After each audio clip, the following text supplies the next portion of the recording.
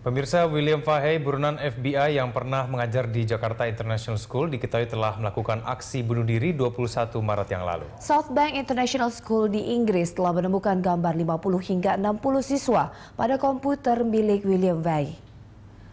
Fahid terkenal sebagai pedofilia yang bekerja di 10 sekolah internasional di seluruh dunia termasuk Indonesia lebih dari 4 dekade. FBI mengatakan komputer itu berisi gambar porno setidaknya 90 anak laki-laki berusia 12 hingga 14 tahun.